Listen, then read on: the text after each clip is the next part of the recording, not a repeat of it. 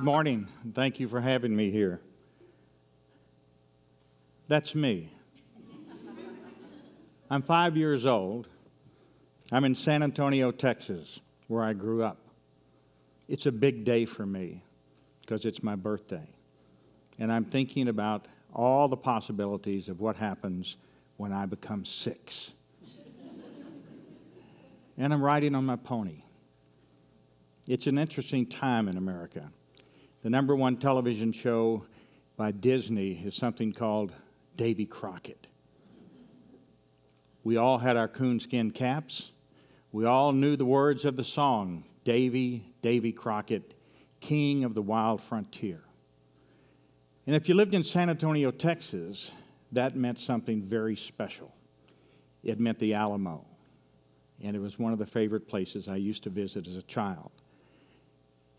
The thing that's important about the history of the Alamo is that people came for the big idea, for the dream. They dreamed about a different way of doing government. They dreamed about independence, and they believed they could do it. It was a great, great lesson for a young man about bold ideas, big ideas, challenges. And the people at the Alamo came because they dreamed about a better life and what they could do to make a difference. Many of them died for that great idea. It was a lesson very important in my youth.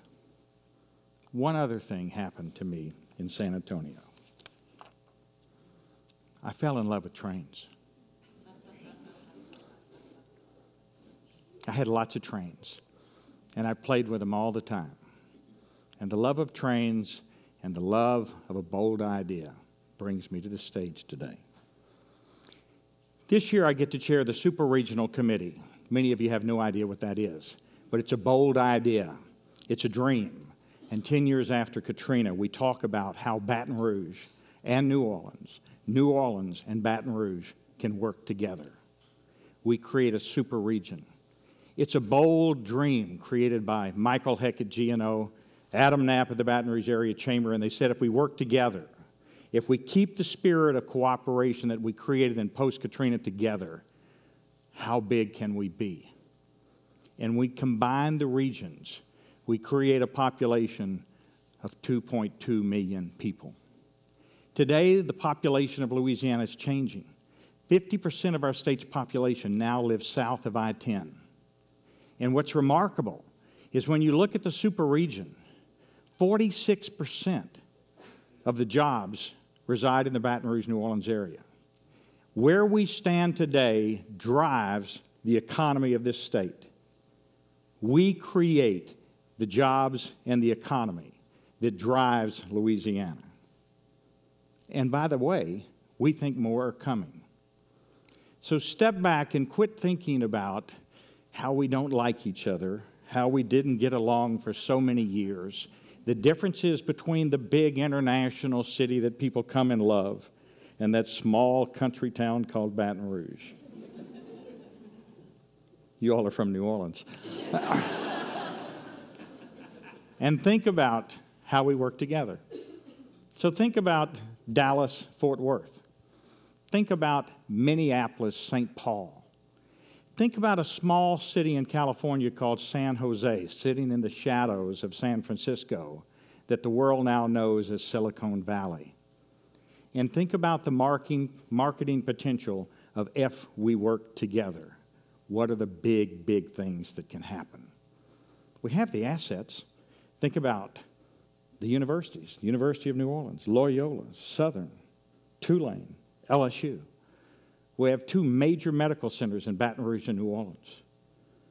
Politics in New Orleans, state decisions made in Baton Rouge. If we combine our legislative delegations around big, bold ideas, we have enough votes in the legislature to actually make them happen. Working together is better. 48,000 people every year commute between our two cities. 48,000. They live in one place, they work in the other place.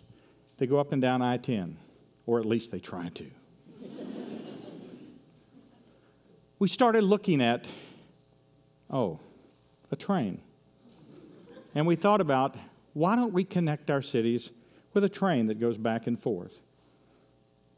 The study told us 210,000 people every year would get on the train. And they'd pay $10 to ride the train, and they'd go back and forth. If you lived in New Orleans last week, would you love to have got on the train and seen the LSU baseball team win? Would you come to New Orleans if you could get on the train, sit down with some leg room, plug your laptop or your iPhone into the wall, have Wi Fi, a fresh croissant, a cup of coffee, and a little over an hour later you come to downtown New Orleans? If you're in Baton Rouge, you could come to New Orleans, have dinner, turn around, come back. We could come to a Saints game. All the things that we do together would become easier if we had a way of doing it. And it's more than just having a good time, it's workforce. If we trained people in the inner city of New Orleans to become welders and pipe fitters, and they don't have a car, how do they get to the economic expansion taking place between our two cities? Put them on a train. Take them up to where the petrochemical industry are literally building billions of dollars in new construction. Let them get on a shuttle, go to the job, be employed, make lots of money, and come back home. A train offers opportunities that I 10 doesn't. And as we grow together, think about the marketing power of not just Louisiana. Because the city of Houston has 50% more people living in Houston than the entire state of Louisiana.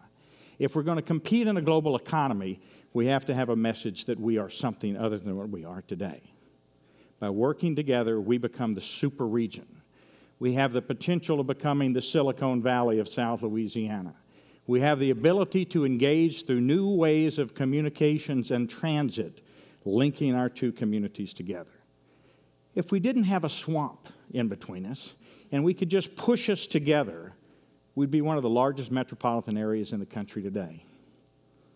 So I take you back to the train. The train might start with two daily round trips, take you there and back. It operates about 80 miles an hour. You could sit back and relax, get some work done, connect to your Wi Fi, look at your PowerPoint, send the pictures from the weekend to your friends, and be in the other city very quickly. We've now added lanes in both New Orleans. How'd that work out? We've added lanes in Baton Rouge. I can tell you how that worked out.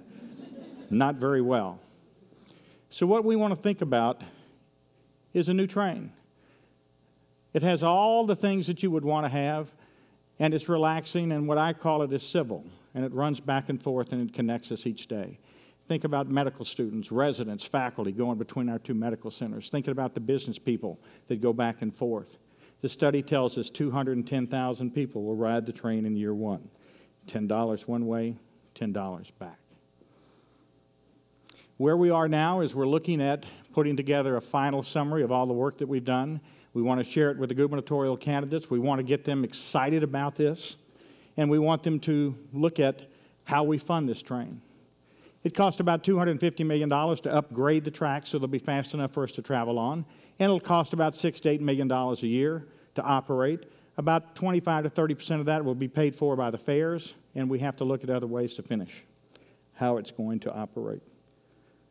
My friends and my colleague have watched me look at this project for a number of years, and they have now started calling this the Spain train. I don't know whether that's a compliment or not. But remember that I started in San Antonio with a bold idea of making a difference, and this is a bold idea.